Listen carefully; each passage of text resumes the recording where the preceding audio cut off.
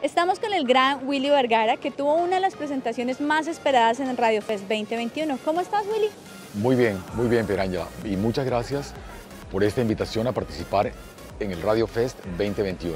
Interesante, emocionante, lo máximo. Willy, nos gustaría que por favor nos comentaras cuáles son esas tendencias de programación que compartiste hoy con nuestra audiencia.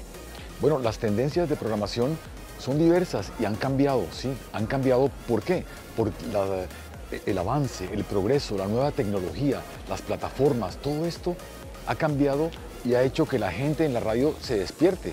Ahora cada gente puede independientemente, así como existen las radios comunitarias que son independientes, el músico independiente, también la gente tiene su propio playlist, su propia programación. Así que cada uno de nosotros es un programador. Entonces, la misión y el objetivo en este momento de la radio es estar pilos y atentos que qué es lo que quiere que la gente escuche.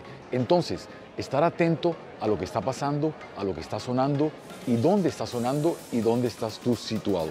Hay que estar pilos, de eso depende y ese es el éxito de la programación musical en este momento en Colombia y en el mundo. Gracias Willy. Bueno, le recordamos a toda nuestra audiencia que puede ver esta y otras charlas en radiofest.mintic.gov.co.